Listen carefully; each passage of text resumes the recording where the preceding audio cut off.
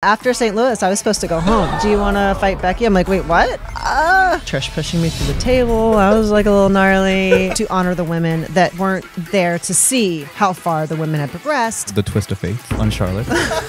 We can work on those. Please be loud, like everywhere. Everyone's reaction gave me that much more confidence to know that I can go out there and do this. Welcome everyone to Ring the Belle. This is DS, and oh my god, I'm so extremely excited for this. Extremely excited. Extremely. Just- this is where, where we are right now. Yes, we are here with the former WWE Women's Champion, Hall of Famer, and a legend. Lita's here on Ring the Belle. This is when you guys sing my entrance music. Dun, dun, dun, dun. Dun, dun, dun, dun, dun, dun. Thank you so much for being here right before your big match. You know, it's rare. I've been I've been very scouted. Everyone wants a piece, but you know, only give it to uh, ring the belle. We got the special relationship. Yes. So I think this is a perfect time for us to go over your legendary career before your big match against Becky Lynch. I think this is a good idea too because I need to just remind myself who I am. Right, Exactly. I need to go in there. You got to beat your opponent in your mind, and then the physical will just follow. We're gonna count down top five fan voted Okay. best Lita moments. Nice. Number one. The first moment is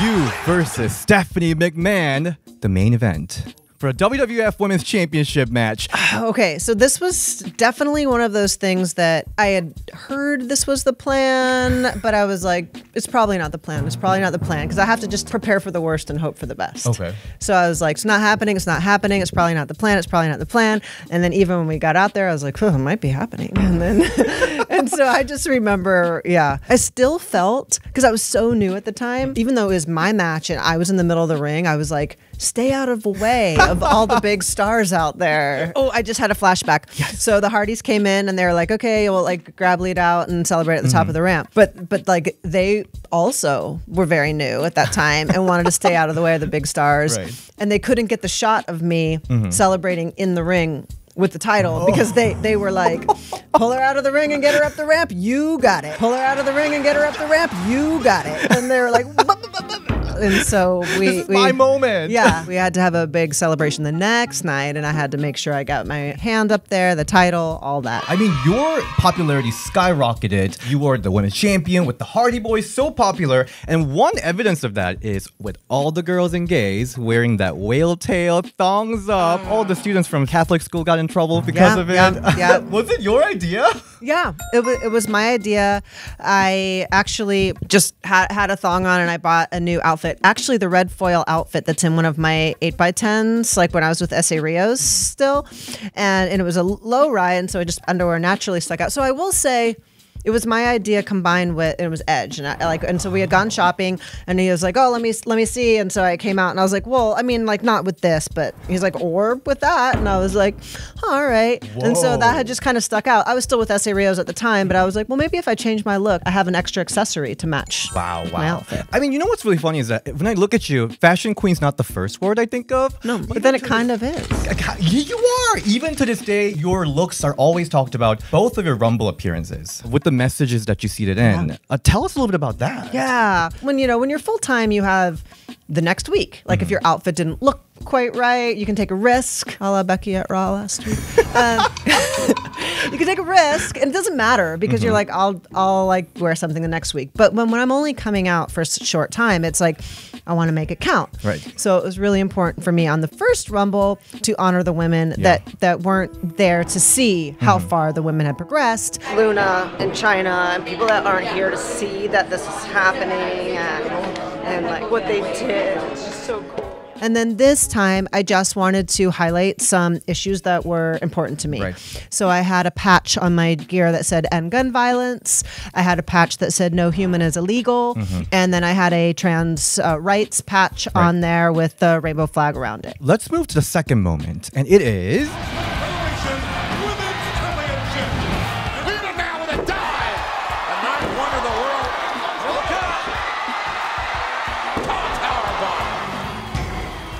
Your match against Chyna Oh yeah. for the women's championship. This was her last match in mm-hmm. E. WWE. Oh, I just remember Chyna when when they had introduced her working with women. Of course, she was not happy about that 'cause she's like, "What? I kick the guys' asses," you know.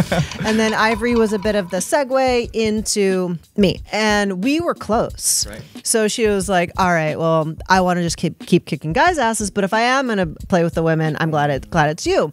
And so we had a three pay per view program that was slated. Oh, wow, So wow. this match, we wanted to intentionally Mm-hmm. just give a taste and have it be entertaining enough to make people want to see more. But I was also given advice separately that didn't, you know, not not in relation to this match. Don't hold back because you might not get another opportunity. So it's like make the most of every opportunity you have, like whatever that is, a job interview, a, a relationship, like whatever it, it is, like make the most of the opportunity because you your opportunities you don't know when you're going to get them. You might be walking out of gorilla position after the Royal Rumble 2022 and asked if you want to fight Becky. Like so while you might want more time to train, you will make the most of your opportunity. Seems like Chyna has so much respect for you whenever there's interviews. Why do you think that is? I think at that time they were starting to hire, like we had Debra, we had Terri Runnels in the locker room, we had, um, and then Trish had, while she had started to train when she got uh, on board, she was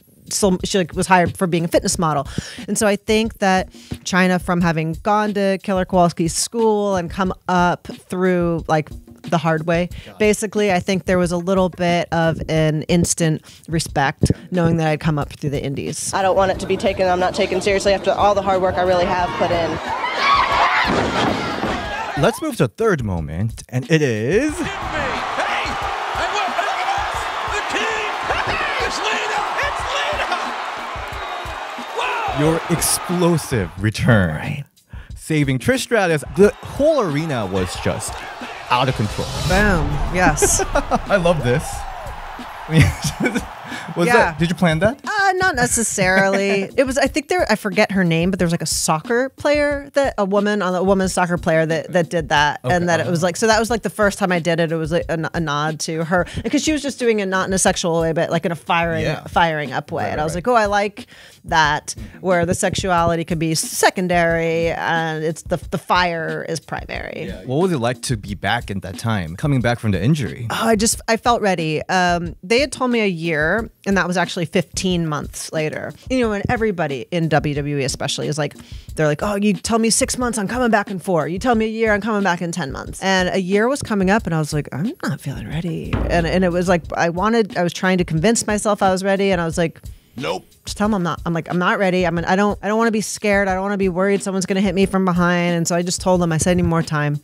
And I'm so glad I took that because I was so ready. Right. And so I could feel like a hundred percent stoked as opposed to like seventy percent stoked. But also I hope you don't hurt me. You know, I was Right, just right. like that's behind me. I feel healed up. I feel ready to do this. This year, you had your first ever historic women's cage match. I mean, you had so many extreme matches and spots, all the way from the chair shot from Stone Cold, from Trish pushing you down the left. There's so many Ivory match. You were bleeding like hell. Uh-huh.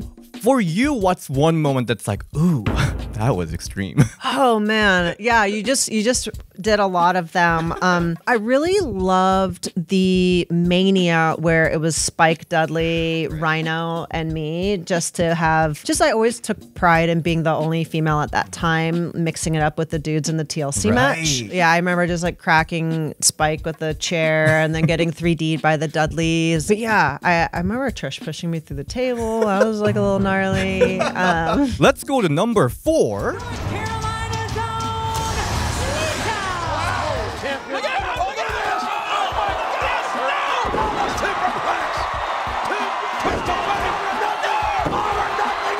How can we not talk about this iconic match? Main event of Raw, Trish versus Lita. One of the most iconic women's matches in the history of wrestling.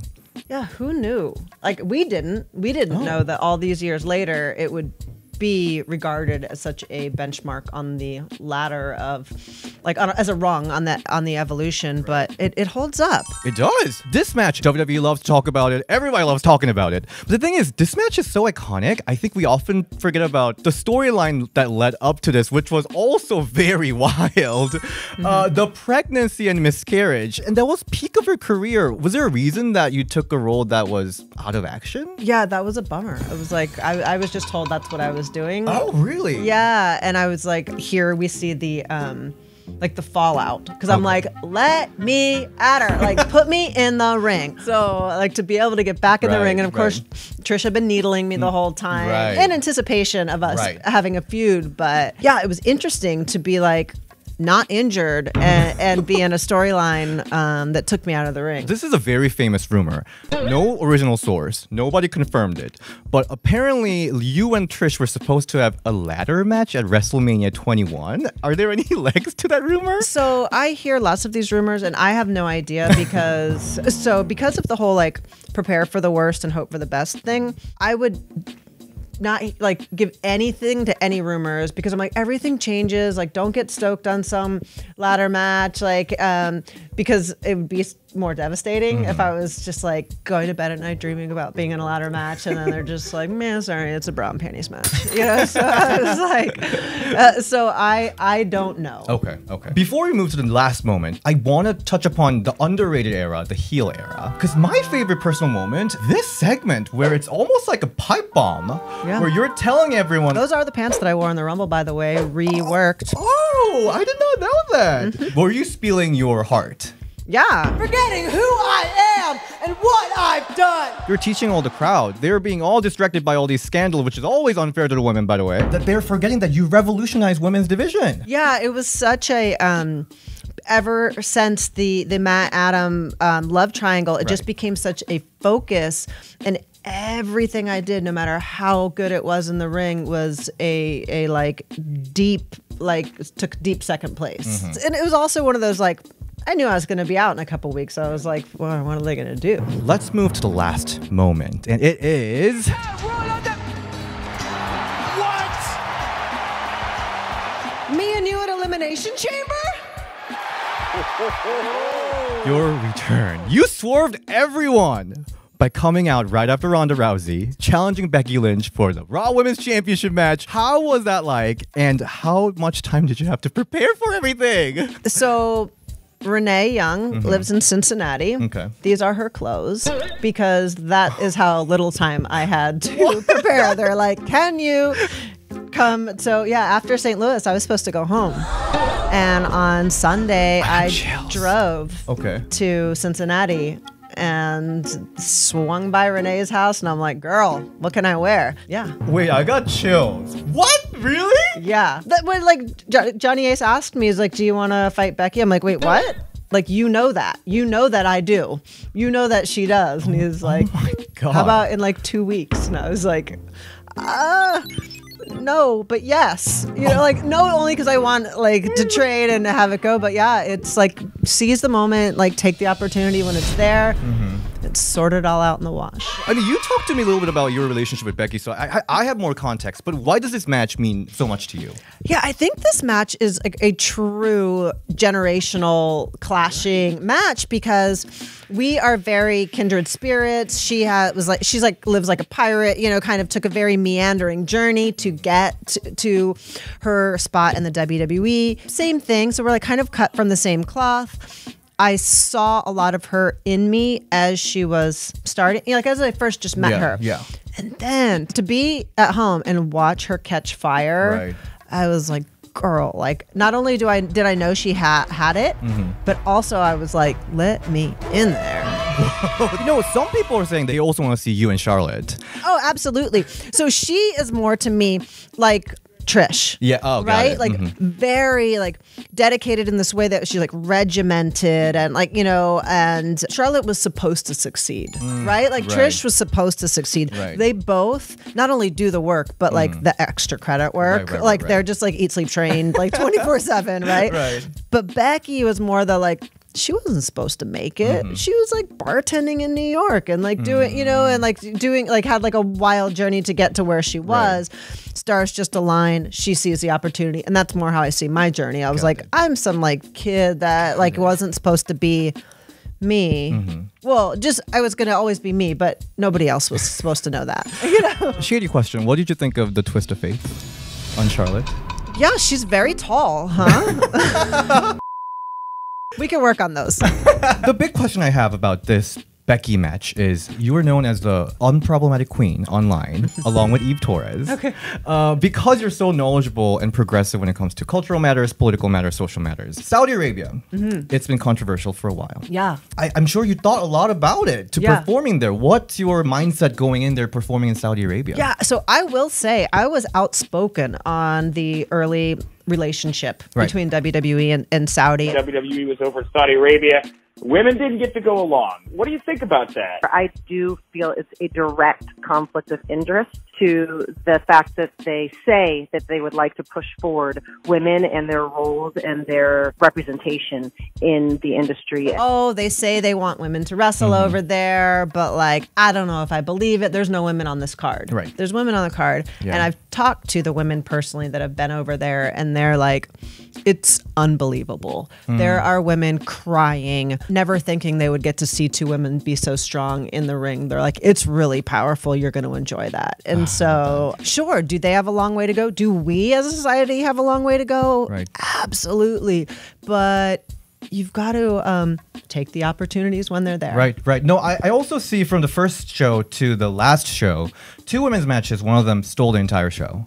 And they also had a segment with the women of Saudi Arabia, and that was very empowering. So I, I'm seeing visible change from WWE. It really is. You Yeah. know, if so, I don't know if that was the plan, but it is working. So Mm-hmm. It is encouraging to see Right. that. And I am personally very excited about this match because it's you who inspired decades of women to be themselves. You're going there to perform at Saudi Arabia. So for me, that's why it's so exciting. Yeah, it, it really does. So Rumble always has a lot of events that can be full circle, Right. Right? Like you, you bring people full circle. But just this whole chapter right Mm-hmm. now is very full circle. Like not only with with Becky and being in the locker room these Yeah. past few Raws, like hanging out with these women that saw me Right. on television when they decided to wrestle, but then also to all these years later, not only still be paying that forward, but in two ways. Like not only these women in Saudi Arabia that never thought they would see t- two women wrestle, but to go, okay, you don't have to be a young athlete in your Right. 20s to, to win the title that. and that you can be a mom or you can be having your second career you can send your kids off to school and you can still achieve your goals and persevere and do whatever you thought was unthinkable so i love that part of it too like Right. these women that grew up with me Right. that i'm like no you still can I love so that. I love I- that. yeah so i think about i think about them Mm-hmm. like i think about them and their children like for this match Thank you so much for counting down top five moment with us. I got so many chills during this interview. Can you tell the fans that really waited more than 15 years to see you have that